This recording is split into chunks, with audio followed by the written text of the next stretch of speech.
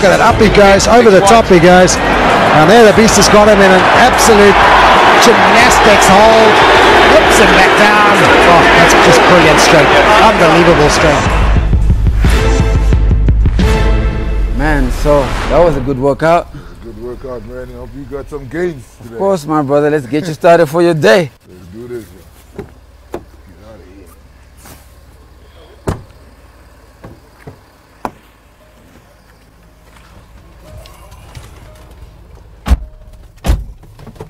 Oh, nice ride. Thank you, man. Thank you. Oh, in fact, so I, I know you used to be a brand ambassador for, Yeah, was it Land Rover? yeah, Land Rover. It's my favorite car. Land Rover. Yeah. What's cooler than AC? Nobody. Nobody's cooler than AC. The only AC remotely cool as this AC is Air Excellence, and that's only for your car, baby.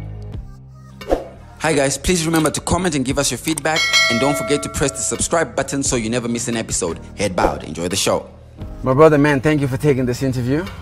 It's an absolute big deal for me. So I am honored. Thanks, AC. Thanks for having me, man. Yeah, so you come out of the gym or you're in the gym, what are you listening to? I'm listening to Gafa Gafa. 25. I mean, I like Jah Prayzah, just for the record, but okay. the Gafa is the one, man. Okay, so so we're gonna play Gafa and we're gonna vibe to it. Let's go. Let's go. Okay.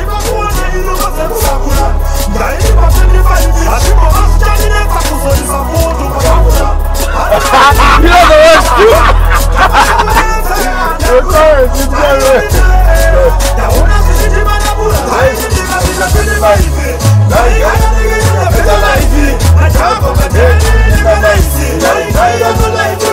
Ah,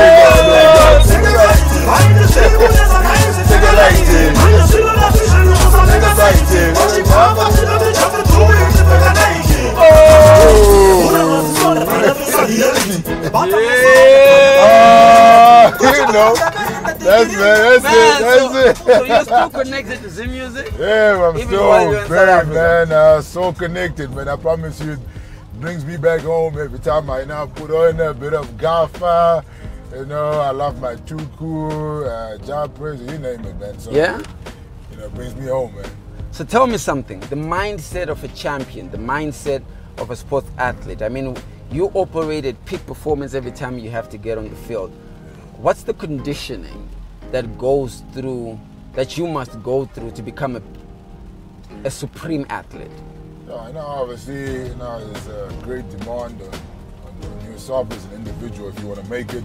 You know, obviously, you get two parts. You get the physical uh, part and the mental part. So, you know, the physical part is your conditioning, you know, your work in the gym, and, uh, you know, uh, your diet, what you put in, you know, the, the fuel you, you know, you feed on, and, uh, you know, the work on the field, your skills.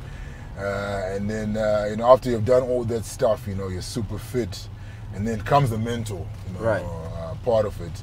That's where you know you have to get yourself in that space where you know that you're, you know, you, you kind of prepared for the battle ahead, and uh, yeah, and as well you know the challenges that you're gonna face, and uh, you know the best way to prepare mentally um, is to you know probably write down your goals and you visualize or you think about it every day. For myself, you know, I do it every season, and I write down what I want to achieve, you know, and I put a list down, and I make sure I, I get to see those goals every single day when I wake up in the morning, and they become a reality. And I actually start, you know, the more I think about it, the more I become it. You know, so you know that that, that mental part is crucial. So they actually say the physical part is twenty percent, and uh, eighty percent is mental.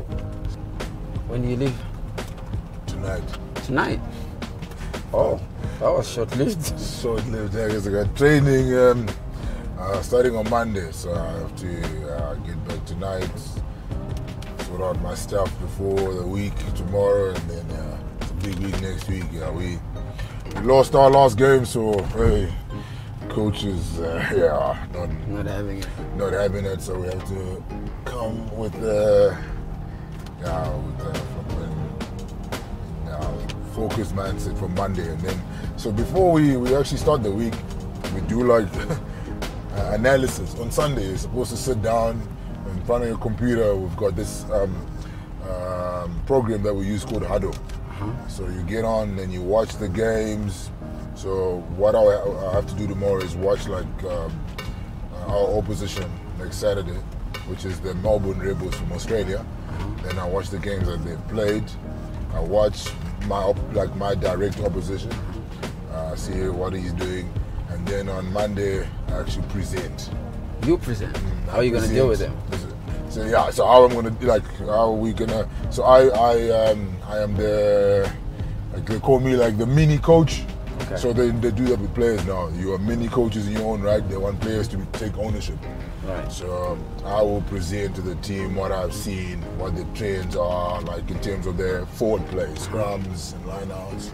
So I have to do all my analysis tomorrow, like sit in front of a computer for like a couple of hours and write stuff down. It's it's pro to the yeah to the team, man. So. Now you you've broken a barrier. A lot of artists, a, a lot of athletes from Zimbabwe are trying to break, have failed to break. In fact, when I think of the most important sports stars we have right now, you are right at the top of that for me, right? Probably you know, followed by Axel Jeffries or something. Um, you're right there at, at the top. But it's not I'm not impressed by the fact that you're at the top. I'm impressed by the fact that you've been at the top for so long. Because getting to the top is one thing, right? Yes. Staying at the top is another. What has given the beast staying power? Oh man, yeah, it's a good question. and I, I won't lie to you, you know, I guess for myself it's always, you know, being uh, being humble, you know, through my successes, through all this, you know, these milestones I've achieved and um, I've always uh, had people around me that have kept me grounded. Mm-hmm.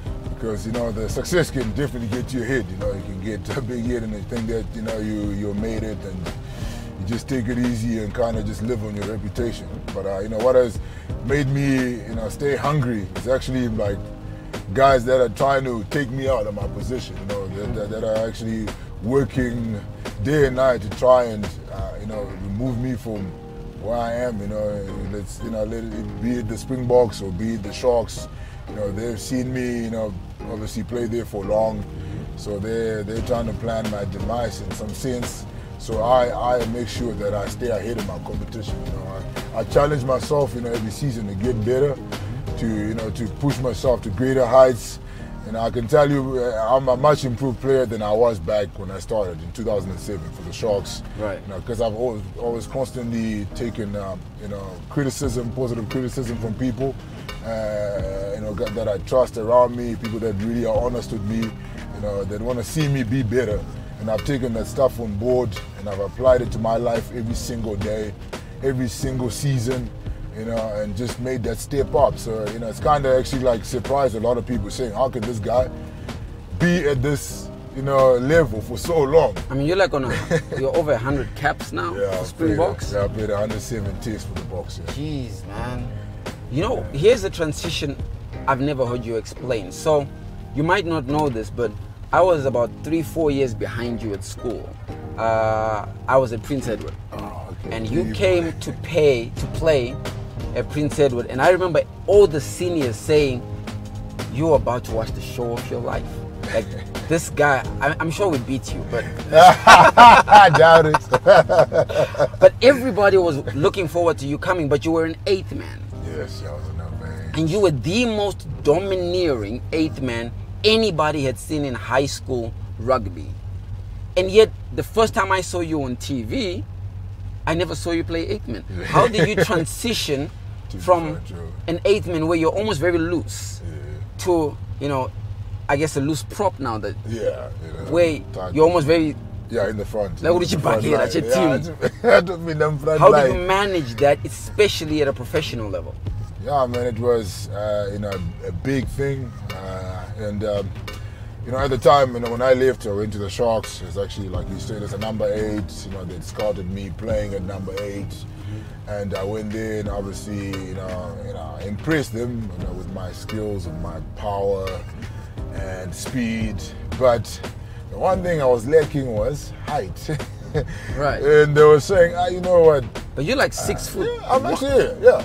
So they were saying, you know, for the lineouts that we do on the field, uh, not, uh, I probably wouldn't be the best suitable, you know, uh, person to jump in the lineout. Mm-hmm. So I think just my body as well, my body shape, my power in the gym, my, you know, all these things um, kind of led to the main uh, Sharks coach at the time. His name was uh, Dick Muir. Mm-hmm. His name is Dick Muir. He um, is actually probably my influential coach of all time in my career. Um, he's the one that saw me playing for the under 19s.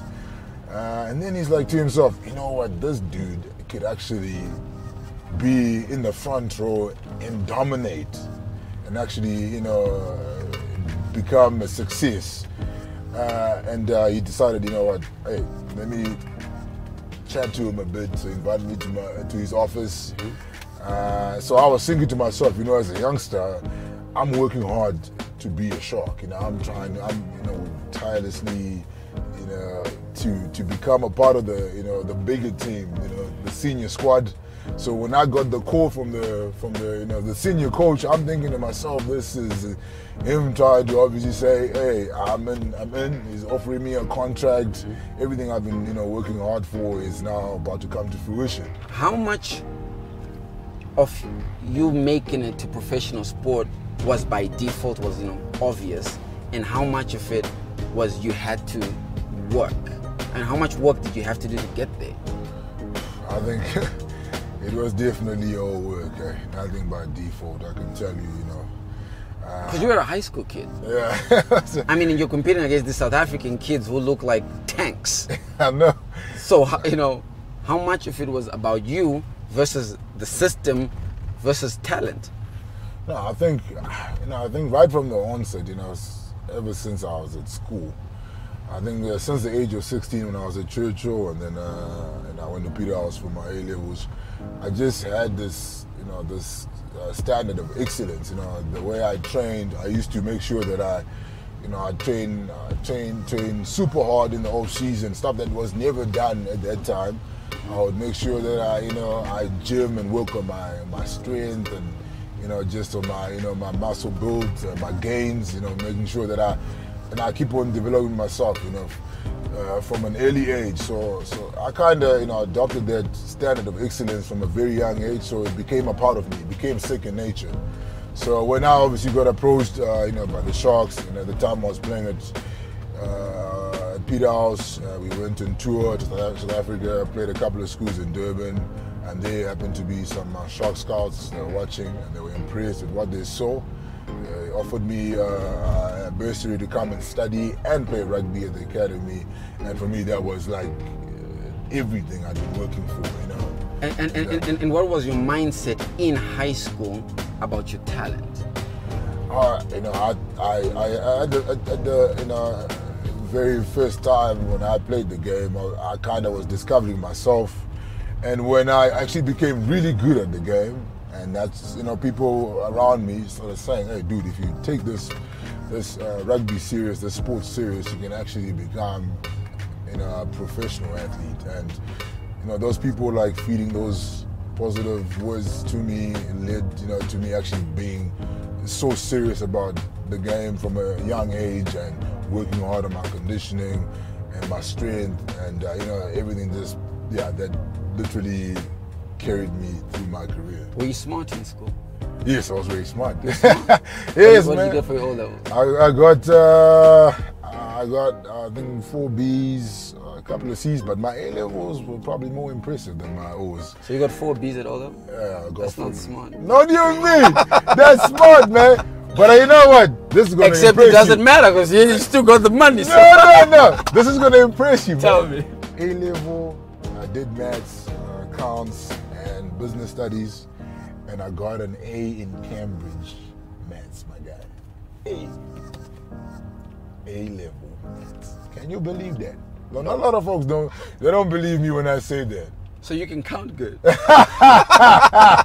Everything else, man, I'm like. Uh, and that's what you gotta do, yeah, right? You gotta know how to count the money because I mean, you were preparing yourself for a world where you gotta count a lot of money, so you uh, just no, have no, to know no. how to do that. no, man, it's cheap change. It's cheap change. man, your workout made me hungry, so as customary on the show, I'ma pass through my favorite spot and get me some Chicken Inn. I mean, do you, do you, do you have Chicken Inn, in South Africa? No, we don't have Chicken Inn, and. Uh, I miss it. I, You miss I- chicken I in? miss chicken I'm gonna hook you up. I'm gonna Hook me hook up. you up with some Chicken Inn. Man, I know people who know people. Be so when I'm in Joburg, you can look after me. Yeah, I got you, man. All right, I let's take you. care of some Chicken Inn, man. Hey, we're gonna get beast some Chicken Inn. It's US dollar price now too. Let's do it. Que extraterrestrial Gafa, 25, Gafa, 25, Gafa, 25, Gafa Ndichikura, ndaiti mafani yandimbotambura vari pakona inumba dzekusakura ndaiti pa 25 hazvimbova zvichandinetsa kuzoisa foto patafura kudetsera ndakura Okay, so let's talk about your career. Um, I'm gonna ask a series of questions, uh, and you answer them uh, how you wish. Career highlights. The one moment, if you could take a picture and freeze it in your whole career, what moment is that? Uh, it would be winning the British Irish Lions series in 2009, the Springboks. Um, yeah, first taste in Durban where I got a man of the match performance. Uh, that would be, yeah, special, special day. The hardest player you've played against. Richie McCaw, captain for New Zealand for a goodness number of years. Played about 150 tests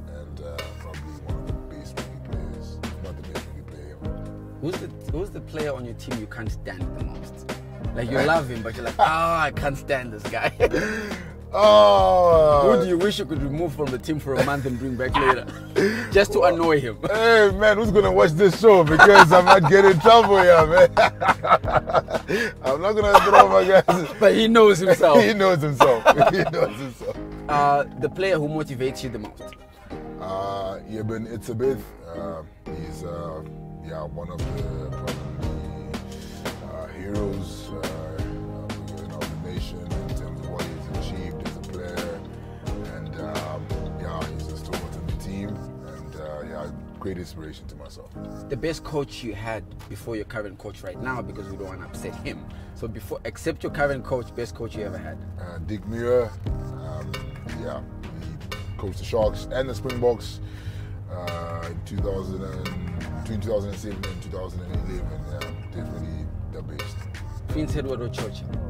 Churchill. I'm sorry, what am I saying? Peterhouse or Churchill? of course it's Prince Edward. Peterhouse or Churchill? no, man, I can't choose between the two, man. Uh, they both, of- both of them, you know, contributed to, to, to myself becoming the person I am today. So I am, you know, yeah, I'm just in awe of both schools. I, yeah, love them both.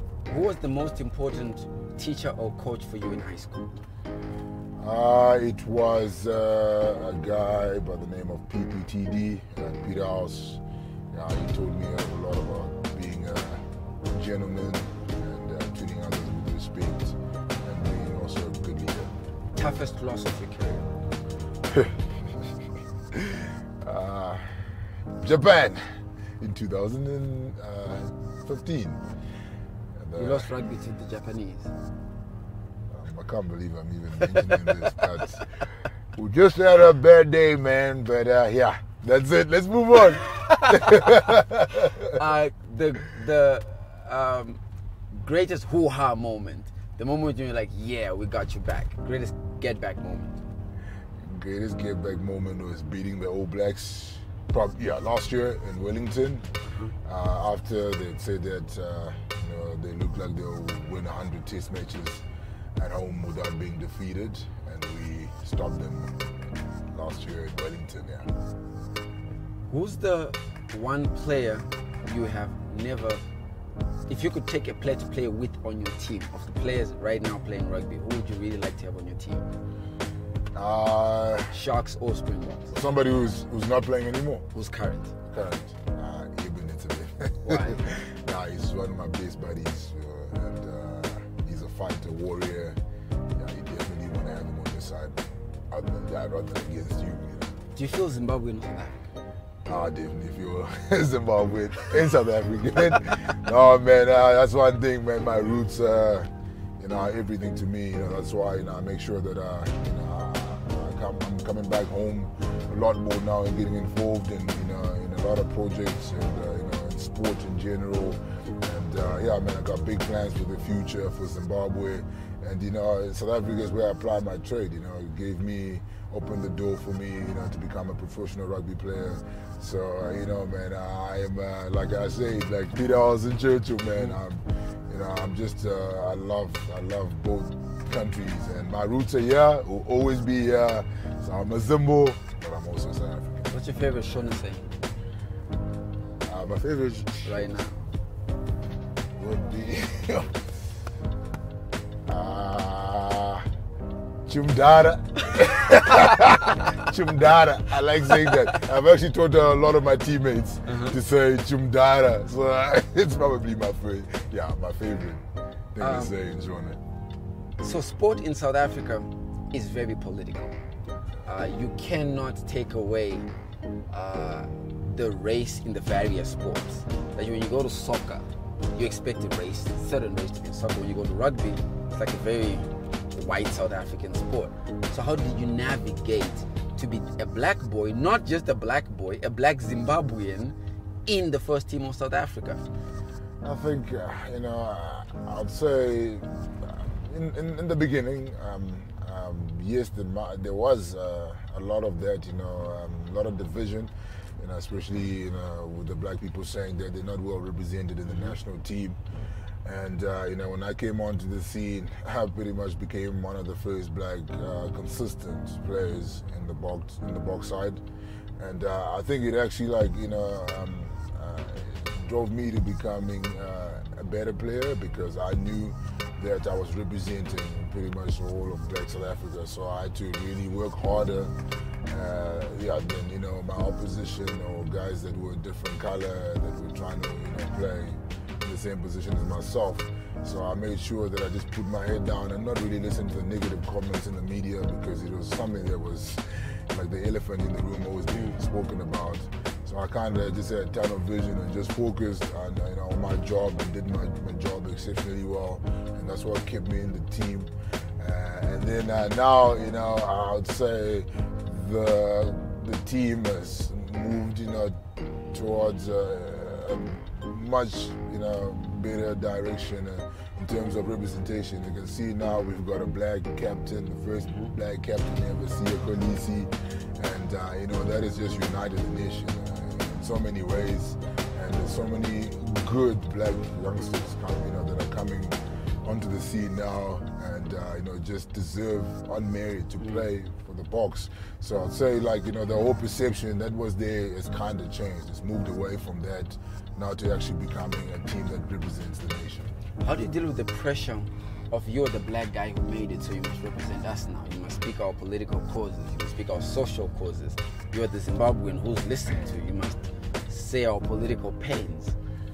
I think it's yeah, it's, yeah that's that's tough sometimes, but it's important as a, you know, as a sports person, not just a rugby player.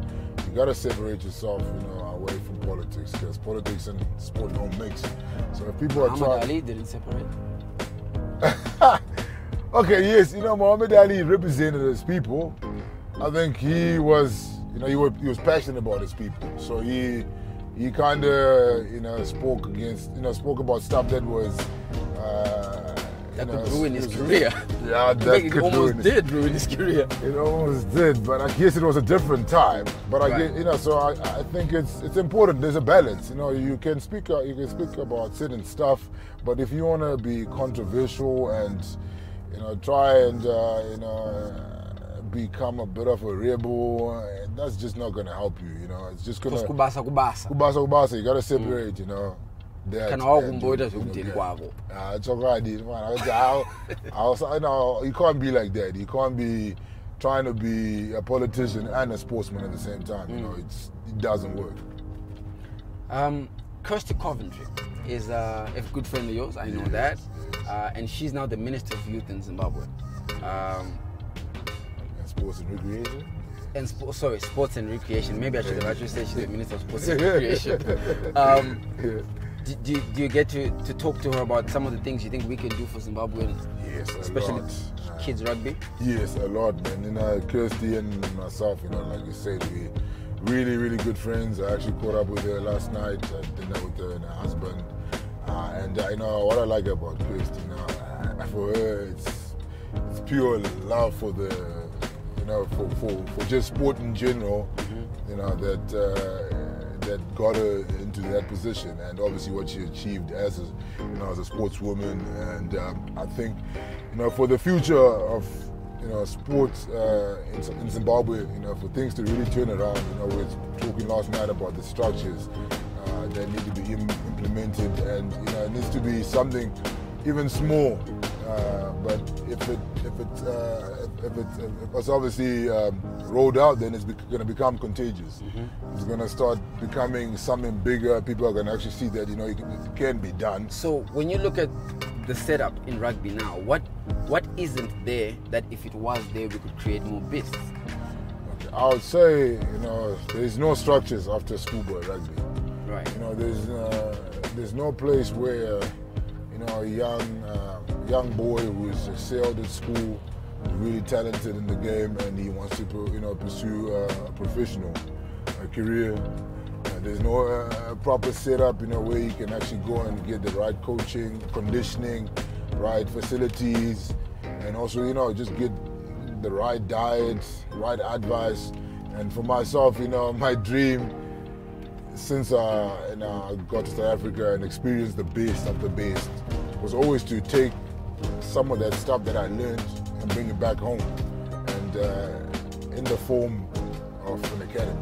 So my dream is actually to to build an academy, a state-of-the-art academy, you know, that is going to be a symbol of excellence and is going to really inspire these kids, you know, uh, to you know to, to, to get to the next level, mm-hmm. and uh, you know bring in the best coaching, you know, to actually mentor these coaches that are around in Zimbabwe, so they can actually start, you know, uh, you know, getting themselves better, because ultimately if they you know they, they start using the modern ways, that's that's you know going to also impact the the athletes, you know, to also become, you know, uh, know, better and use better ways. So I think, you know, right now there's a lot of old-fashioned tactics that we use mm-hmm. that need to be polished up. So I've seen a whole lot of stuff that I wanna, you know, I wanna get involved in, and you know, my academy would, you know, be just a stepping stone for young athletes, not just not like just rugby, uh, not like just that. rugby. Mm. So I wanna wanna aim uh, at, at, athletics as well because there's a lot of talent in athletics.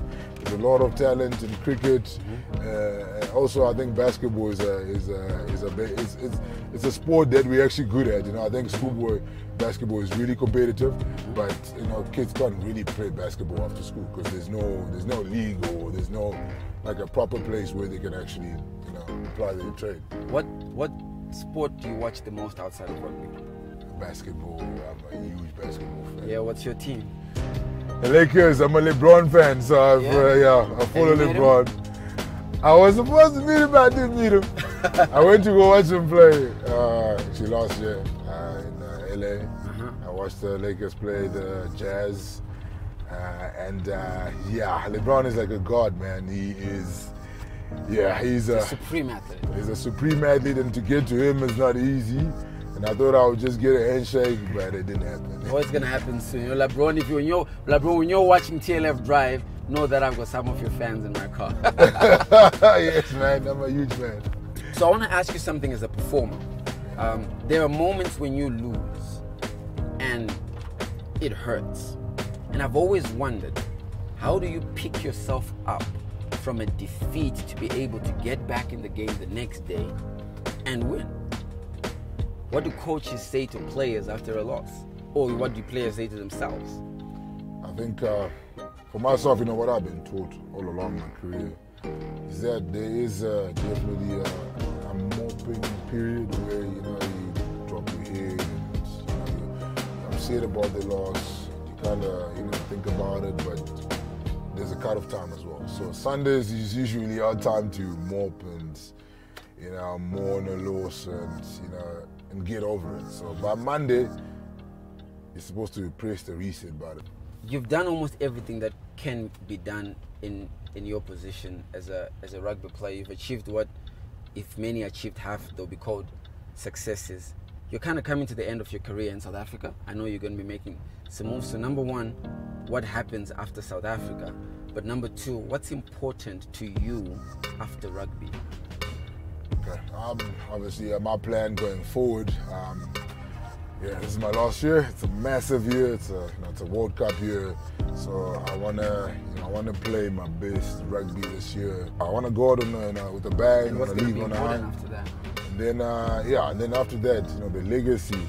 I wanna leave as well. You know, it's it's it's very important to me. You know, I wanna I want people to see that you know, I was a player that came onto the scene and really made a mark and opened the door for the next generation. It inspired a whole lot of young, you know, black, uh, you know, rugby players that you know they could actually play at the highest level for a long time, and hopefully uh, a lot of them will become uh, centurions, and you know even go to surpass you know what I've done. Mm-hmm. And then uh, you know also giving back. You know I want to be uh, a player that is known for you know playing a vital role in the community and giving back. Just you know being a great role model to all kids in general. Mm. That this is how you live your life. This is how you you know you treat your, your you know your, your, your, family, you know your peers. You know, just to be you know like you know yeah, just uh, all-rounded all rounded, I guess. Yeah, So before man. before I let you go, there's a lot of young young boys and perhaps girls who will be watching right now, looking at you, and you are probably everything they want to be uh, at the level that they are now. If you had to tell them three things that they must stick by, and these are sacrosanct, what are the three things that must be sacrosanct to a young athlete who wants to become as successful as you did? No, I think the you know the first one I'll say is that you know dream big, you know, because dreaming big that's where it all starts. You gotta know what you want to achieve, what you want to get to. Then after you do that, then you know write it down. You know, put your goals down, make them a reality. You know, read them out every single day, and then after that, you know, have the discipline to achieve them. You know, the work ethic and you know the focus, all you know the stuff that you need to get there you know, and put all your energies towards that. And then, you know, never let anybody tell you that you can't, you can't achieve it. You know, you can't achieve greatness because you can. Because mm-hmm. I was that that young kid once upon a time. You know, uh, who dreamed of becoming a pro athlete, a pro rugby player. And then there's a lot of people that told me that I'm not, I, am not gonna get there. You know, I'm come from an underprivileged background, all of this stuff. But I kind of tunnel vision, and I just went, you know, all out at a you know, never die, never, never die attitude. And then in the end, I, and I'm, I am where I am today because of that decision I made, you know, when I was a youngster. My brother, I gotta tell you, you influenced me. You know, we from high school, you didn't even know who I was. We knew who you were. We wanted you to do well. We rooted for you, and where you are now is such an important position because we look at you, and you reflect to us what we can become. You are the influencer that influences influences that influence them.